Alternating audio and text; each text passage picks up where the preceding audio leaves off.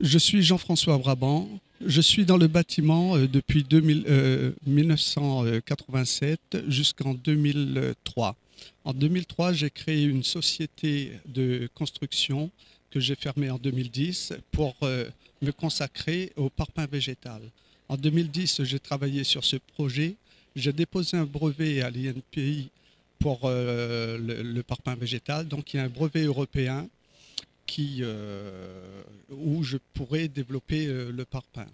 Actuellement, le parpaing euh, euh, végétal répond à plusieurs attentes sur l'aspect économique, sur l'aspect écologique et sur l'aspect environnemental. Bonjour, je suis Monsieur Brabant. Je suis le fabricant de parpaing en matière végétale. Le parpaing végétal, c'est pour tout type de construction qui répond à toutes les normes de construction dans le bâtiment. Bonjour, je suis Francis Maréchal, agriculteur en Haute-Marne. Je suis participant à la, la SASU Brabant et je produis la paille qui fera nos parpaings végétaux.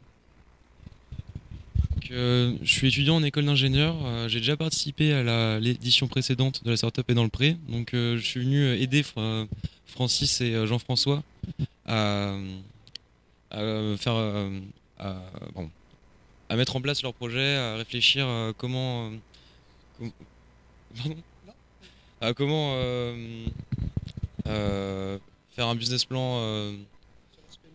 oui, et puis aussi sur la mécanique de production. Voilà.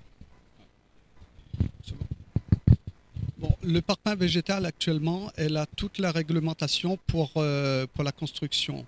Actuellement, je suis en relation avec les architectes qui sont euh, très intéressés et euh, je cherche des partenariats pour la pour la l'évolution du, projet des financiers ou des collectivités du coin.